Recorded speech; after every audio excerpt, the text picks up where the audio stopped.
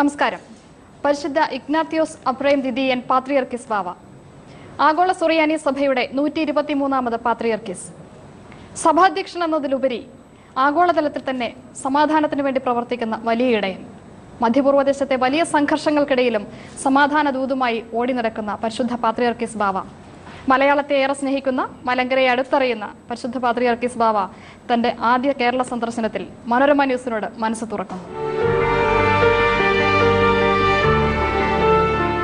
Your Holiness, we are privileged to have you as a guest today. Thank you for joining us. Thank you very much for having me on your uh, Manorama News. The church in Kerala was very eagerly waiting for your patriarchal visit.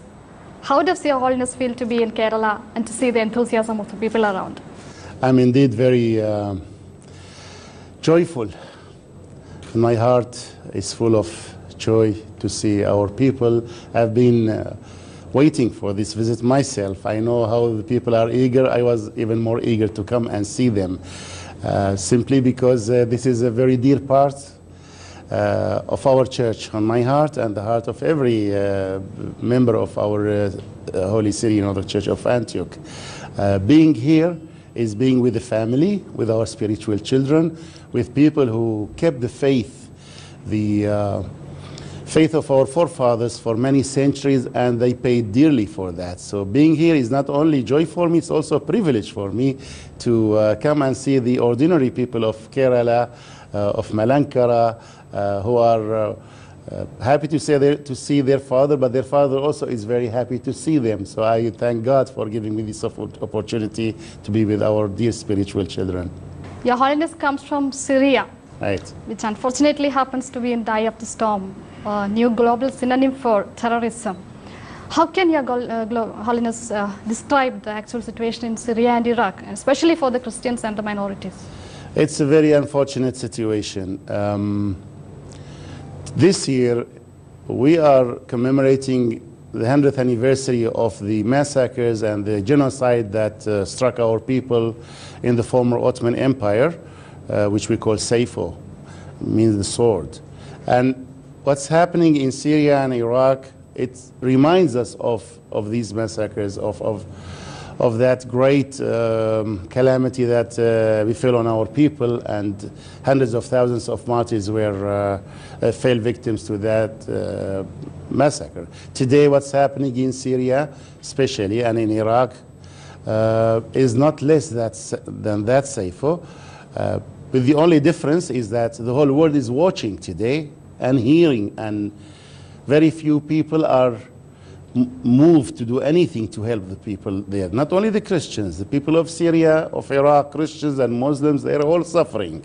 They are all suffering at the hands of terrorists. Terrorists from all over the world. Churches have been destroyed, monasteries have been destroyed, schools have been knocked down, uh, clergy have been slaughtered, bishops are kidnapped. We have two of our dear bishops of Aleppo from our Syrian Orthodox Church and the Greek Orthodox Church who have been kidnapped for almost 20 months. We know nothing about them. The people of Iraq were driven out of their homes and villages in matters of hours. 150,000 were homeless. I went and visited them four times, and I can tell you it's a big misery, and the whole world should be ashamed of what's happening there because everybody is seeing, everybody is hearing, but very few people are trying to do something. So I call upon the whole world to, to move quickly to stop the genocide that is taking place right now in, in the Middle East. How is the church caring for the people in the affected area? I think Your Holiness in person visits the refugees and all. I was there four times in, in Iraq to go and to uh, try to uh, mm, support them, to be with them, to uh, touch their hearts. And uh, I, pray that the Lord will, will use me and other uh, people to bring some uh, comfort to these people. They are suffering, and it's our duty to be with our children who are suffering, uh, in, both in Syria and in Iraq. And that's the reason why we kept our uh, headquarters in Damascus despite what's happening there, and that's why we are still in Damascus. Actually, on my way to Kerala here, On Thursday morning, I left Damascus while Damascus was being bombarded by, by dozens of, of missiles and mortars coming from the terrorists on the peaceful uh, mm, quarters and especially the Christian areas of old Damascus. But uh, Your Holiness uh, decided to be in Syria. Yes, I decided because uh, I have to be with my people. If the people are suffering, I have to be with them. I cannot be with them only when they are in comfort and they are uh, uh, uh, they're living um, comfortably. I have to be with them, especially when they are suffering. I'm not better than any of them, and uh, wherever the flock is, there should uh, shepherd be also. I think Your Holiness is a proud Syrian. I'm a proud Syrian, yes, both Christian and Syrian. I'm a proud uh, member of, of, of the community because our community um, contributed a lot to the civilization of the whole world. Uh, many things, uh, many great things started in the Middle East, in, in Mesopotamia in particularly, and we, our people live there for thousands of years. That is our homeland, and we cannot just give it up because some terrorists are trying to uh, drive us out of there. We will not make them succeed in their mission. Uh, we are calling upon our people all the time to stay in our homeland, to uh, be patient a little bit. I know it's difficult. I know they are making a lot of sacrifices, but we have to, uh, to uh, be patient and to endure what's happening so that hopefully at the end we'll be rewarded. How do you account for the birth of such kind of terrorism in Syria? Has it something to do with the resentment of a group of people towards the administration, or is it just a result of mixing religion with politics? I believe there are groups who are using religion and they are uh, doing, uh, mm, uh, perpetrating violence in the name of religion. So I would not blame all Muslims for this. I would not actually blame Muslims for that at all. I blame these people who are using religion because the victims are not only Christians, they are Muslims too. Uh, mosques have been destroyed. Uh, imams have been hanged on the walls of mosques, on the doors of mosques.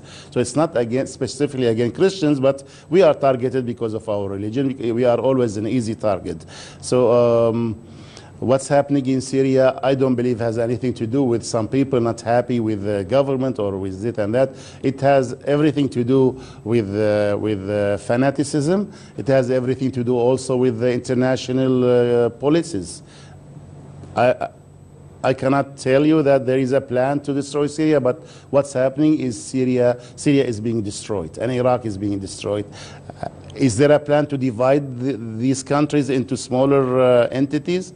Some analysts say uh, that the US involvement in Syria and Iraq, the beginning, helped these anti socials to grow to an extent. Unfortunately, we did not see until recently any intervention from the United States and European countries to stop this violence in Syria. Uh, on the contrary, everybody knows, the whole world knows, that uh, some of these terrorist groups have been supported by Western powers and have been armed by regional powers and funded by regional powers. There are regional countries in the region who are funding uh, uh, ISIS, Daesh. There are countries who are uh, buying oil from Daesh. They are supporting them indirectly. And uh, only recently, the Americans and others are uh, uh, bombarding the ISIS uh, group, groups and camps in Syria and Iraq. But I hope and pray that the United States of America and the coalition will work with the Syrian government together so that together they, will they may defeat Daesh and other terrorist groups. And I made this appeal also to the President of the United States uh, himself when we met with him last September. I, I told him, I asked him, uh, since you are uh, fighting against ISIS and the Syrian government is fighting also, why don't you coordinate and work together uh, to that end? But uh, I think they have another interest in that. They are not interested in, with uh, Bashar al Assad, I think. I don't believe Bashar al-Assad, the president of Syria, uh, as a person is, is the problem or is the cause of this. Uh, I, be, uh, I believe Bashar al-Assad can be and will be um, part of the solution of what's happening there if they work together. Uh, we know there were elections in Syria and he won by, by, by great uh, majority.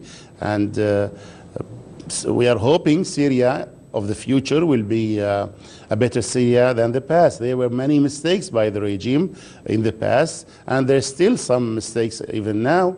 And no country is uh, perfect in its administration or its uh, uh, uh, employment of democracy or anything else. Even India, the greatest, uh, the largest democracy in the world, there are some mistakes. There are uh, p- political games going on. As you said, uh, US is saying that uh, they will put an end to this ISIS threat soon. But day by day, we are getting new visuals of heads rolling, that of innocent people. Do you think that this is an easy task for the US and its allies? Uh, we should not forget that uh, Saddam Hussein and his regime were brought down in a matter of days. In matter of days, um, Libya and Gaddafi uh, was brought down, and the country was invaded, and the regime was changed, and in matter of weeks, probably you know less than six months. So if there is will, real will, and uh, determination to uh, fight. ISIS and get rid of it, I think th- that can happen sooner than what's happening now. Uh, we hope um, that will is there. And does Your Holiness feel that there should be a united move from the Christian leaders also? Uh, Christian leaders have to be together. They have to be united in their uh, prayers uh, for the whole world, for peace in the world, and they have to be united in, uh, uh, in sending a message, a strong message to the Christian world. Uh, message of unity and of, uh, of support and solidarity. We need the Christian leaders throughout the world, uh, beginning with the Pope, the, His Holiness the Pope in the Vatican, all the Western churches and the Eastern churches. They have to come out together and to show some support for the Christians in the Middle East. Sometimes the Christians in the Middle East feel that they are abandoned by their uh, uh, brothers and sisters in the West. Uh, we want to see more action, even if it's symbolic. We want to see that from the West, from the Christians in the West. Religious intolerance is becoming a great threat in India too, especially for the minorities. Would you like to react on that? I believe India has always been a- an example of, of tolerance and of co- peaceful coexistence, and I hope and pray that will continue. Now, um, of course, these uh, uh, phenomena of fanaticism, extremism, uh, uh, these are global, they are not local anymore. Uh, the internet, the uh, communications uh, bring the message of these people to every home, in every country, in every village.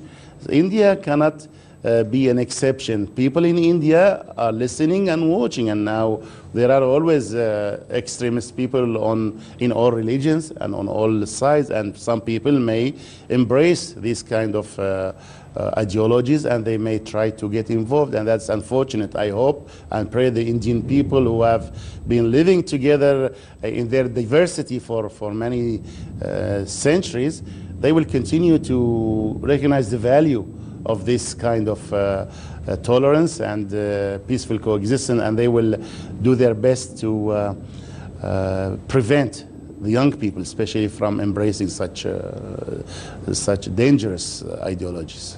Now, coming back to Kerala, the dispute in Syrian Orthodox Church still continues. How will Your Holiness address that issue? Is there still a chance for a reconciliation and a lasting peace?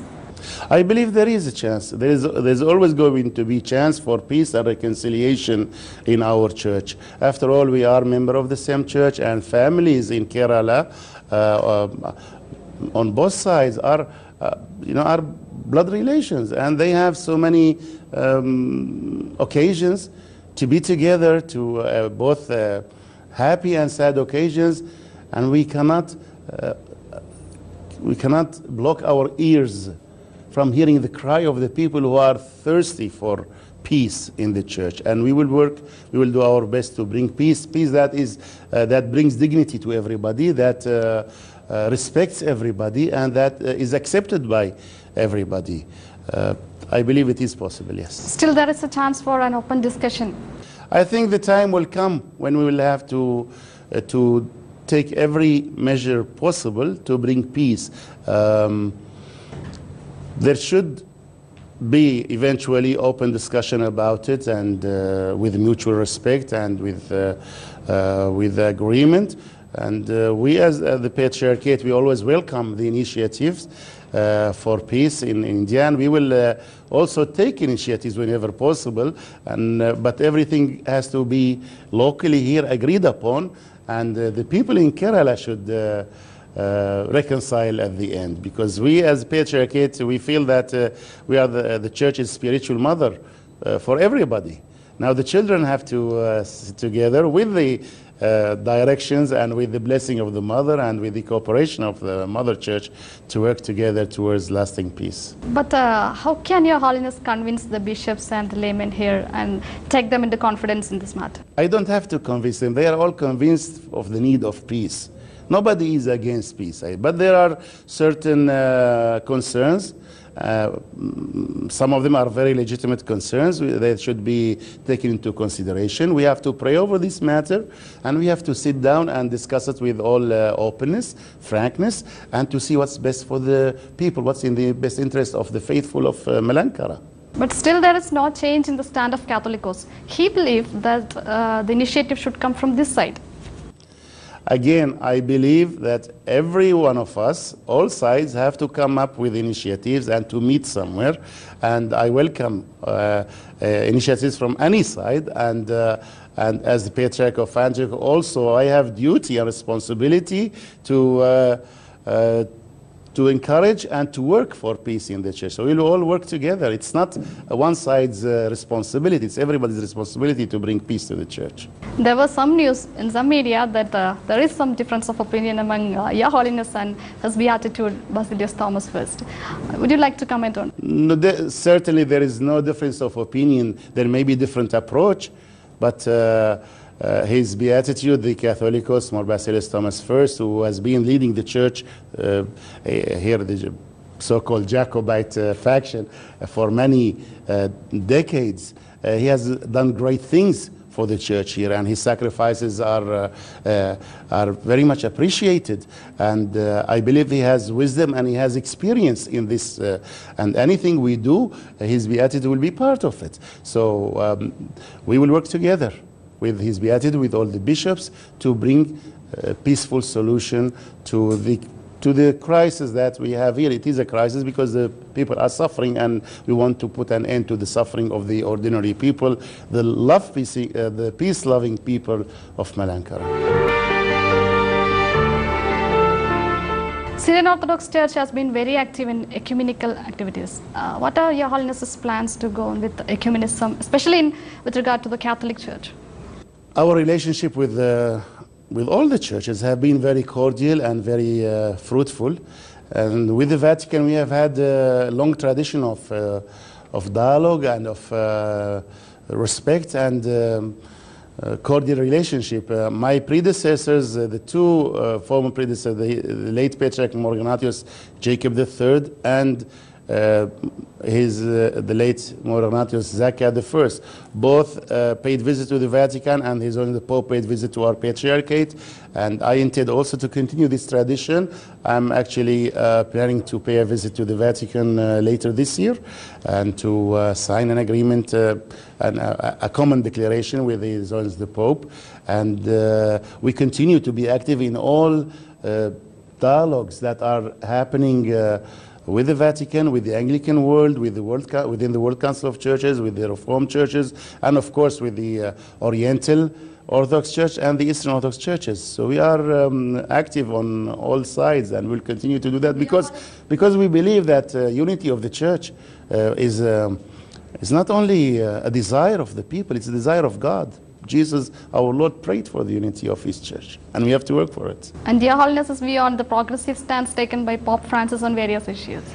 I tend to uh, to admire. I really admire uh, His Holiness Pope Francis in many things that he is doing, in many initiatives that he is taking, and in the new approach he is approaching things, and uh, mm, the way that things are run in the Vatican and in the Catholic Church. I have great hope that this Pope. We will be an inspiration for generations, especially for the young generation, and I am hoping we will see uh, people coming back to the church, especially in Europe and in America. The young people will come back when they see good leadership, uh, leadership that is uh, uh, inspirational to them.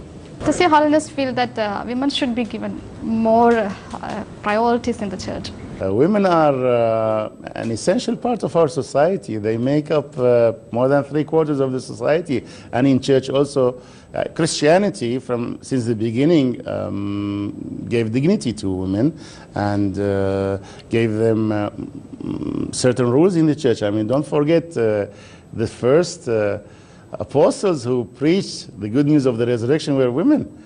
And Jesus appeared to Mary first, and uh, they were following Jesus all the time and uh, serving him and listening to him. And I believe in our church today also women uh, have to given to be given uh, their place in the church. Now their place doesn't mean they have to be in every uh, uh, area of ministry in the church. We, as we know, ministry of priesthood, special priesthood, uh, was given only to the apostles, and I don't believe, uh, at least in our Orthodox churches, that we will see women priests very soon. But uh, uh, otherwise, they are teaching in the churches, in the Sunday school, they are serving in the Holy Liturgy, they are doing uh, charity work, and uh, um, at least in the Middle East, they are also on the church committees. I'm hoping they are here also in Kerala on the church committees. If not, they should be on the church committees. but uh, uh, uh, eventually, the role of women uh, in any church uh, also depends on the culture that we live in, because we don't we should not forget that the church is a reflection of the society we live in. No matter how noble, how uh, um, great the teachings of Christianity and of the Bible are, but then our faith is, uh, uh, is embodied and manifested in the society that we live in. So that also has to do with how women are uh, uh, given um, their rights in the church. Thank you very much for joining us, Your Holiness. Thank you. I also take this opportunity to thank all the workers in Manorama News, Manorama TV, and all those who are behind the cameras and the viewers. Manorama is one of the leading channels, as I know, in Kerala, and uh, uh, yeah, uh, many times I myself uh, flip channels and look for Manorama to uh, thank you for having me on your TV and ask the Lord to bless you, all the workers, and uh, wish you all uh, the best in your uh, professional um, covering of news and of journalism. May God bless you. Thank you.